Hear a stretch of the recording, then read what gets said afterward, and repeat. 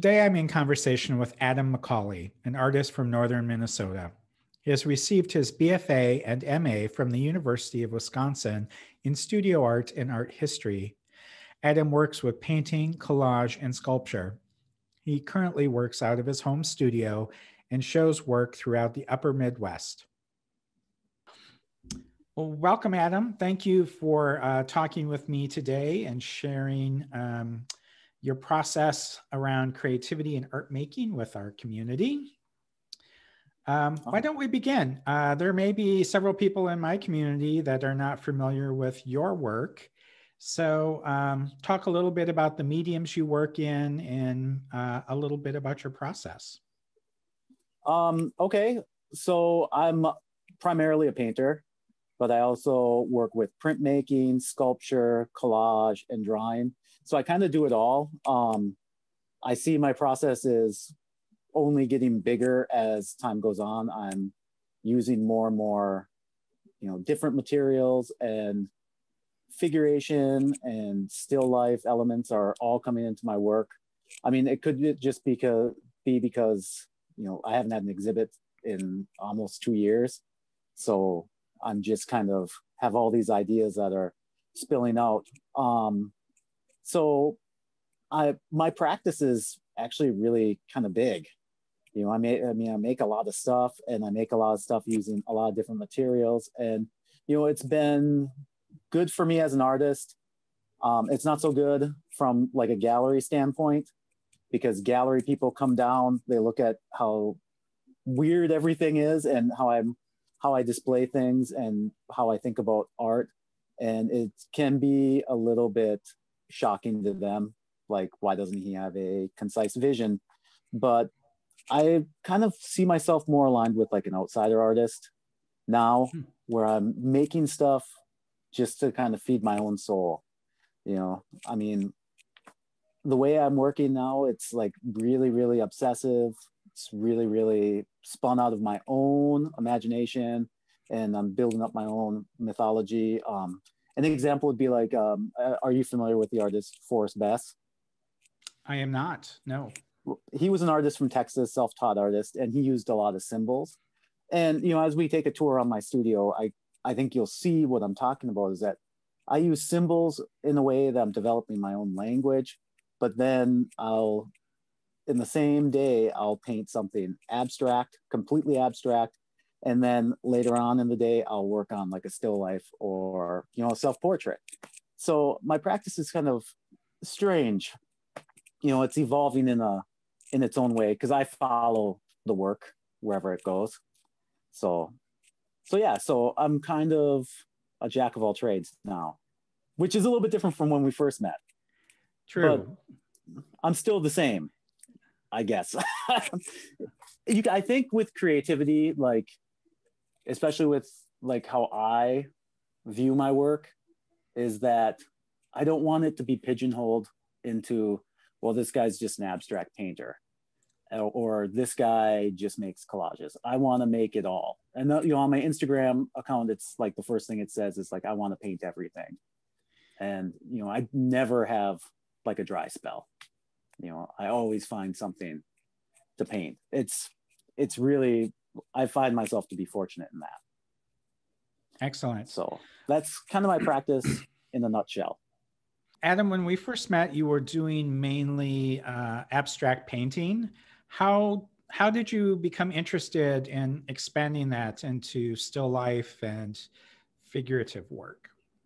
Well, you know, I do have a background in art history, so I I spend a lot of time looking at art books and and I think, you know, I mean, everybody says it, you know, like that early modernism, you know, 1918, 19 to 1944. That was really like my interest in school, um, even though I'm very contemporary. Um, so I think just like going back through those books over this, you know, COVID period, because the still lives are kind of new, you know, and I mean, I think just looking at some books, I just got inspired by, you know, like what can I say or what can I add to like the conversation about still life? You know, how can I make it different or how can I just put my own spin on it? and then a lot of like my self portraits and stuff came out about you know just the whole nervousness about our time like looking inward at like my own like nervousness about you know i work in the restaurant you know i didn't want to go. So you know i mean all sorts of stuff like that. I worked in my son's school and you know i mean one day we're in there and i'm teaching like an art school club and then the next day we're all shut down. So i think a lot of it has to come with looking within during you know what's happening in our world right now which some could say is selfish but it, it is a lot of fun still. Sure. Well it sounds like um, the whole pandemic had a positive effect on your art making. And instead of kind of stopping you and causing you to pause, you you found different ways to um, take those feelings and energies and work with them. Yeah, um, that's kind of something I've always kind of used art as a like it's more of like a diary of like how even when I was painting like primarily just abstractly, um, it's always been a you know like kind of like a diary. Like sketchbooks pay play a really important role in my process now. Um, they didn't so much when we first met, um, but I mean, I'm drawing in sketchbooks every day, and that's really has come about from you know like COVID nineteen, and some of the ideas make it into like a larger work, but it's I like the freedom that it doesn't have to. So, I think the sketchbook, sketchbook, uh, you know, sketching every day, drawing every day, since COVID's happened. I mean, I've been you know out of work and you know just sitting around. So it, it actually has had a positive impact on my work. I, I, would be interested to find out in your talks how many other artists it's actually been a positive work you know working situation for them yes and that, that is something we're exploring a little bit to see how it affected them you know several people um, they kind of stopped and then hit a point and regrouped and started working again. And um, I think you're the first person that has said it, it really kind of gave you a space to continue working, which I think well, is a really good perspective to share. Yeah, well, this isn't like the first time where my life has been um, turned upside down like this. Um, my wife and I, we had another son, and he died, and um, during that whole period was like the only way for me to express myself was through my work. And so while that was an extremely, you know, emotionally trying time and devastating to me and my family, like my work, like really, really, you know, pros oh, prospered. I was it was a really positive thing in my life for my work, not for my personal life, but you know. So I guess I've learned that um, the work is really like a place where I can speak freely for myself. It's like the only place in the world I feel completely and totally free to express anything I want if it's a subject that's dark or if it's a subject that's light or anywhere in between. So, is it safe to say that you use like life is um, lack for a better term, your muse. Like your yeah. your experience in moving through life is where your work comes out of. Where maybe some artists are really intrigued by uh, landscape, and so they go out in the landscape and they, you know, it's something that they go to do. But it sounds like you really use like your everyday experience and um, you your ideas and the way you process things come out of that and that's where your art comes from um, yeah, you know, um, one of the biggest pushes for me was when I was working in my son's school, um, just seeing the art that kids make and how it actually, even though I've, you know, I'm well educated in art, I, I actually learned more from that than I did from, you know, some of my professors. Um, so yeah, I mean, what my son does, what he's interested in affects, it all trickles in. I've always kind of, you know, compared myself to a sponge, you know, like I'm always just sponging up everything that everybody's, you know, somebody's like, oh, this idea sucks. I'm like, really? you know, I'm like, you know, I go over there and sponge it up, you know, or, or sure. like my son says something, or I'm watching, uh, you know, like a video game he's playing. I'm like, oh, some somewhere down the line, it just filters out, you know. So I guess my process isn't like I've known artists who have sat and sat and thought and thought, and they're very, they're very thought oriented artists, and you know, I've always admired that but then in the other part of me, I'm like, oh, I'm so glad I don't have to do that because I can just get to work. You know? So could you expand a little bit on how how kids have helped you or what you've gleaned from working with children in your own practice? Yes. Um, so for the past, I don't know, seven years or so, I've been doing workshops at different schools in uh, our local school district, and I was teaching the um, student uh, art club at my son's school. And the thing I probably affected me the most with teaching them is their use of abstract shapes. Um, I remember looking at one drawing. It was just a circle and a square. I'm it didn't even matter what it was supposed to be. I was just like, the way the circle is imperfect and the square is imperfect like was super like had like a super profound effect on me i was like wow that is just really great and i went home and i started painting like this circle and square and you know i just i basically you know took everything that that those two shapes could have and i just put it through like torture in my studio, painting after painting after painting. And it just was like one of those things where it like their language spoke to me. It was like I went in there and it was like, you know, I was hit by like, you know, like the the fact that they're fearless. Like there was one kid in one of my classes, he always wanted to talk about his work.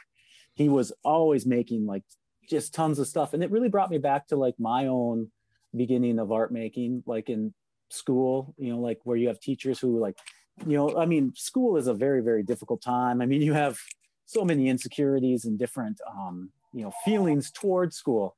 And, um, you know, to have like a sense of, encour- you know, to have somebody encouraging you and saying that what you're making is good was like, to me, like, you know, the most, the greatest experience I ever had.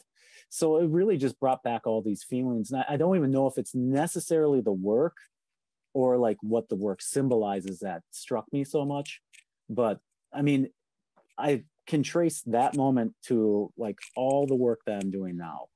Uh, talk a little bit about your collage work. How does that in, influence your your painting process? Well, while they're both like separate, like I really want my paintings to be paintings, like being about paint. Mm-hmm. Um, and I've said that for so long that it's kind of ingrained in my brain. But with the newer work, it's it might be changing. I won't know about that till down the road. But I want my collages to be well, see, I go back and forth because um, sometimes I want to integrate the collage more into painting, like like you know, like something that Rauschenberg would have done or Jim Dine, you know. And then a lot of times I want now I want the collages to just be the paper themselves, like no altering. So I kind of, it's like a pendulum for me. Like, do I mix media in or do I keep it pure? And um, I have found myself recently like taking like other people's images and then writing like fictitious narratives hmm. to the work. Um, and I've gotten some really good feedback on it. It's, I mean, some of it could be, you know, kind of, kind of cheese ball. You know, I mean, that's what some people could say about it. Like it's an easy way to get a reaction from a viewer is to have an image, then have something, you know, that's very vague written underneath it. You know, like like what Julian Schnabel did. But you know, I'm a huge fan of that kind of work. So um I think that the collage when it comes to um to the painting, I think all it does is open up more ideas. Like each piece is like more free you know like when i make a sculpture it's like i realize that it's like oh i can do this you know and it's I think for me, I put up these blocks in my head that, you know, I'm a painter, I can't do this. But now I'm, those blocks aren't there and it's everything is informing each other, you know. So now when I look at painting, I look at it like, do I want this to be a painting or do I want this to be a painting object? You know, because a lot of my ideas with still life and especially with like landscape painting is more like making it like an object where I'm actually considering like even the framing, like on how I would present it.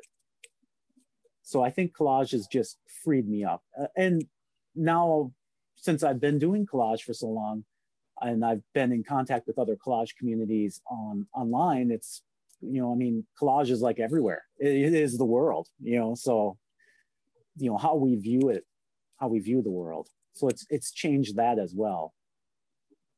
You mentioned that you you have written some narrative into other people's work. Um, do you find that uh, writing is part of your practice, like in your when you're using uh, your sketchbook and doing sketches? Do you write into your own work or? I notes? do, I do, I do write into my own work, and a lot of the writing I do is um, to give a place or a name to something. Like, so I did these cactus paintings, which, you know, like if you know, if you saw my other work that we had at Banfield Lock, you'd be like, what? I, so I did a whole series of cactus paintings. And for some reason, I felt like I had to write that it was a cactus on there. And every little animal I put in there had their names on it and skylines. Because I think that somewhere in me, like there's always going to be like that awkward child that finds that like weird handwriting on a piece is really appealing. You know, I mean, I was a huge fan when I was in, col- in college of, you know, Basquiat and, um, you know, Julian Schnabel, who I've mentioned before. And I mean, and all those guys wrote on everything, you know, well, more Basquiat, but I found that like labeling something allowed like the viewer to see it in almost two different ways. Like, and what was surprising to me was that I actually was somewhat successful in them. And like off my Instagram page, most of those paintings sold within like a day, which is unheard of for me. You know, what I mean, so I mean, I do I do sell work. I do I I am in galleries and stuff, but I usually didn't have like such a um, such a really great response to the writing. I mean, it seems like people can resonate to the writing on the paintings or the writing on the collages. It makes them feel like um, there's more to it. There's more of a more of a story, you know, more of a narrative. Um, it also adds another layer, especially if I. So when I wrote that cactus on top of the painting, it added that other layer. So now you're interacting in like two ways. You're reading and you're looking, and I find that that interacts in my brain somehow a little bit more fulfill. It's more fulfilling do you feel like your work is headed more towards a narrative, your paintings? Um, I would love to say that I knew where it was going, but I don't. I don't, and I, I it's that is a problem for me. Um, I know that you know they want they they galleries, um, art professional people. They want you to have a solid statement, a solid um, you know they want to know where you're going. And i did this exhibit at the duluth art institute and I, I, may have told you this before and it was of silkscreen paintings that were all black and white all based off of um, philip k. Dick novels which which they were just really like the feel of it. Um you know like that real slick feeling that i got from reading his uh his work. And um you know, and I was, I put them up there and we were sitting in front of the paintings and I was like, yeah, I think I could paint black and white from here on out for another couple years. The next day I came down in my studio and all of a sudden like colors everywhere. You know, so, so much of my process is intuitive of following the work that, you know, I could say that it would be narrative, but it's probably going to be just, just in there somehow, you know, it's the, the the work itself is the work itself and i'm just here you know you know i'd be interested in how many other artists you've met I mean, because I think like at this point, I would consider my practice really serious and not to have just this distinctive, like I'm not working on branding, you know, that's what I guess they call it now. you know, your your mature style, and and it's like I just can't stick to it. You know. Sure. Uh, let's go back. You you had mentioned um, that you have worked in your son's school and you've worked with children in a school setting for a number number of years. Um, let's talk about like community and an artist's role in the community. Do you have oh, yes. I do. I do. Um, whenever you know an artist you know lots of artists i know we survive off of grants and always with the with the grants there's always like what can you do for your you know how is this grant going to benefit our community? And it's it's almost always like you know i'm going to go and teach this technique to you know these kids or i'm going to try to do this workshop in you know isd 709 or you know or, or else like now like i'll do like a zoom talk. You know i did a zoom talk with um what was it like a hundred like third three third fourth and fifth graders. Uh you know this covid period. And um you know i think it's really important for artists to go out there. I mean one i think it's a good practice for artists like if somebody asks you to do something if it's in your power you should do it especially if it's like you know getting your ideas out there or you know just showing the community that like you know we're all artists you know we all can you know do this. We especially for kids i think it's important for them to see like you know role models who are like artists who are like you know because let me backtrack. So when i was a kid i didn't really have role models like that. And so i was this artsy kind of weird kind of kid and i was like oh man. You know, I didn't have a place that I felt like, you know, in school that was my own. And then all of a sudden my friend was like, you got to take this class with, with this teacher. And it was like, you know, it was awesome. It was like, she gave so much to me that I feel like it's important to give back. And, you know, usually I give that back, give back to the community through, you know, workshops or, you know, teaching kids, you know, I mean, I would love to find other ways to be more involved. But I just, uh, you know, I, I don't know if there's any other way than, you know, teaching, you know, like the skills that I have. Um, as for the, the school work that I do, like, I think that that's actually not even teaching. I mean, I learn, I get so much from it. I get more from it, you know, I, you know, to see my friend, see my son drawing with his friends, making the comic book, you know i'm sure i have to teach 20 other kids but to see that even for a minute is you know more than enough reward you know and to see these kids you know and that's the thing is like so when i brought when i did this art club last time i brought all these like 18 by 24 canvases none of these kids wanted to work on the small things they just went straight for the big things and you know they're throwing paint around and you know not every work is going to be a work of art but you're i always find something and i'm like I can steal that. I can take that. I mean, that's not always about me, but you know, I just really love sharing like what I what I know, you know, what I'm what I'm doing. You know, you mentioned that um, you feel everybody is creative or everybody can be an artist. Um, how do you address the people that say, "Oh no, I'm I'm not creative. I don't have a creative bone in my body." How do you how do you help them kind of bridge that gap and really show that uh, that they do have something. Well, you know, last night I thought about this. I was like thinking about the first paintings I did, and you know, it's really hard like to come up with like an even an idea. I remember I didn't have any ideas. I was like, what? You know, what am I going to work? What am I going to make? And now it's now it just seems so easy. It's just you know, it's like a part. It's like my arm. Um, so I would usually like when I'm teaching, if somebody's not, if somebody's not getting a, um, you know, not getting an assignment or not understanding like what we're doing, I usually approach it in a manner that's, you know, makes fun of myself.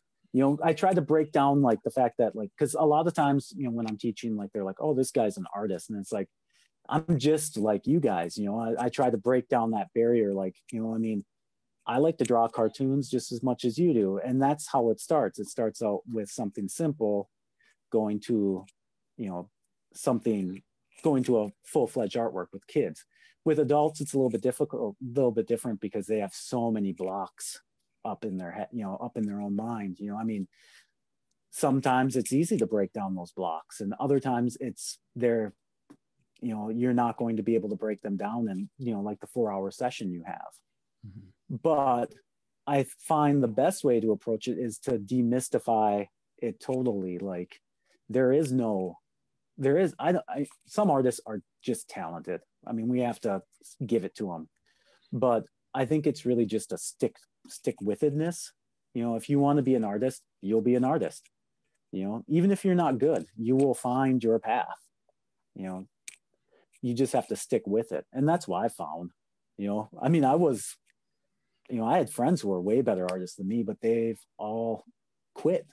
And i'm just like i, I could never quit so you know i that's what i would say to somebody who's like oh i'm not an artist it's like you are you just have to try and you have to continue you know we all fail i mean I have a whole studio full of paintings that are failures. so, so that's what that's why I try to say in uh, the most positive, easygoing way that I can to people. You know that the idea of failure in uh, artwork has come up. I think in in every video I've recorded so far, and really. Um, yeah, I, and I think that's a really great aspect for people to learn is um, often the work that we see and admire in museums um, are successful pieces, but rarely do we ever see the failures of an artist and what they have gone through to get to that point. Um, and I, I, like that you had brought that up. Uh, another thing you had mentioned, or um, kind of uh, indicated, and many other artists I've talked to have um, also talked about a sense of play. Do you find that that when you're working that there has to be some some element of play in what you're doing?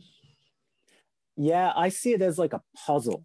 Like in my brain, it's like I'm not like I don't think of it like like this isn't how I think. Like I'm painting the painting, and all of a sudden in my brain, I'm like, oh, I've got to do this. It's like it's like this intuitive thing where it's like, I know I'm like five. I always think of it like I'm like five moves from the end. You know, I know where it's going. I know probably like 80% of the time. There's always going to be, you know, those outliers that don't fall you know into like the normal pattern and you know i kind of would assume that this kind of is the way that i work is kind of like how like even like an author who writes a lot of books and is very prolific in writing writes like you know maybe he writes on book one on the first day book two on the second day you know and he's thinking about book one while he's painting book two like hey i'm like you know the puzzle is almost complete you know i'm figuring it out you know and so it's it's not like a game like um like tetris so to speak but it's like mm-hmm. um it is you are playing and you're playing with the materials like you know some artists say that the first part's the best because then you can play with like the background like the surface and you actually get to play with the colors but i think of it as, you know as all like play like even like cleaning up you know i i love the cleaning up part too you know i'm it's all because when I'm in my when I'm in my studio and I'm looking around, it's like I'm not really thinking like you know like what am I going to eat for dinner tonight or anything like that. I'm just like my brain is like off, and it's like I'll see something from a painting out the corner of my eye, and I'm like, you know, I could be sweeping, and all of a sudden I'm like, I got to put this on you know so and so canvas, you know. And as for failure, you know, I I think one of uh, you know, so I do a lot of workshops with this one art teacher named uh, Chrissy Valento, and she teaches all that one of the middle schools in town. And that's the first thing she always says when she introduces me. She's like, she's like, there with Adam, there is no failure. You know, everything is just like how it's supposed to be. You know, and and I, I think that that adds to like the play element of it because if there isn't any failure then there isn't any you know there isn't any reward in it you know and so much of abstract painting is like the layers beneath you know so i think failure and play go hand in hand with probably 80% of artists not for all of them but you know for a lot of them you know it we wouldn't do it if it wasn't fun. But and it's it is the most i always i always love those shirts that say like buy art not drugs. And it's like you know art is the most addictive thing that i've ever met you know i mean in my life i just love it. You know i couldn't imagine my life without it so. What kind of um, encouragement or advice would you give to somebody that is young and, and thinking of exploring um, a life of creativity or uh, a career as an artist what are some, uh, some advice you know i would probably the first thing I would probably say is like, you know, you probably should find uh, something that you love just as much as art. Like for me, I've always loved cooking. I've cooked at, you know, some of the best restaurants in where I live, you know, and it's really, um, it was a way to create things, but also get paid because money is always the problem with, you know, being an artist, money and space. And I guess time. So there's three problems and you know i would i would probably ask them to consider like you know it's to be one of the top artists in the world like that is like so beyond you know there's so many things that go into that but like to sustain a practice that you could do like how i do it like that's not beyond you know anybody. It's just you have to be committed to doing it.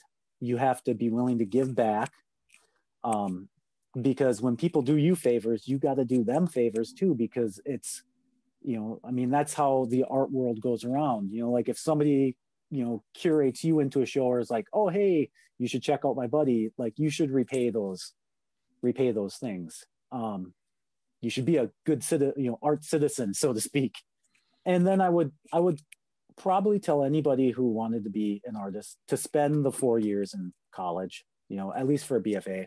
It's it was the best investment I ever did. And I mean, I went to a to a really small school. Um, I went to UWS over in Superior. It's small. It was cheap. The art department though was even though it was small, like they, you know, we had one teacher who was he was an older person. He had, you know, taught got taught from Clyfford Still, you know, and um, you know those opportunities to be taught by really really great teachers are still out there. You know it, you don't have to go to new york to do it anymore. Um, you can do it everywhere. Um, and those would that's what i would suggest to people like to invest in yourself. Like if this is your dream and you really want to do it you know go to a college and try it out. You'll know within a couple years if you really want to do it you know? Because that's what i mean when i started there was all sorts of people in my class. By the time i finished we had dwindled down to you know five you know real artists you know? All painting in the studio all working off each other and it was a it was a great time you know? I, I remember it really fondly you know? I had a lot of fun and and a lot of that's kind of where it started you know the opportunity started for me so that's that's it in a long spiel i guess well thank you for sharing uh, about your creativity and your knowledge of the art world uh, why don't we take a, a few minutes and you can show us around your studio?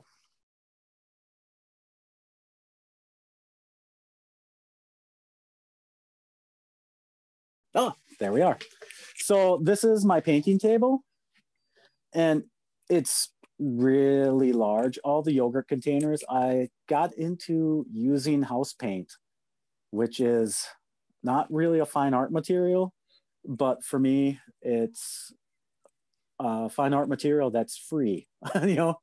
And so I, I like the price and I, I actually like how fluid the paint is. So, so it's worked out for me. Up here, I've got a bowl of cherries, well, a bowl of apples, and I've got all sorts of extra paint. So I do paint with, you know, all the regular paints that everybody you know uses.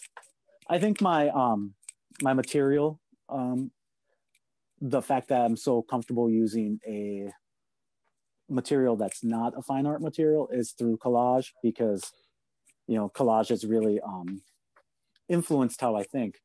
So then I've got another table over here where I've got some landscape paintings.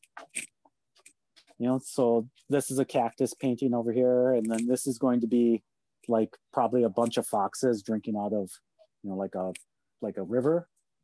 And I've got, you know, some abstract paintings up there that I use. Um, then I I don't I'm in a basement, so I don't have a painting wall.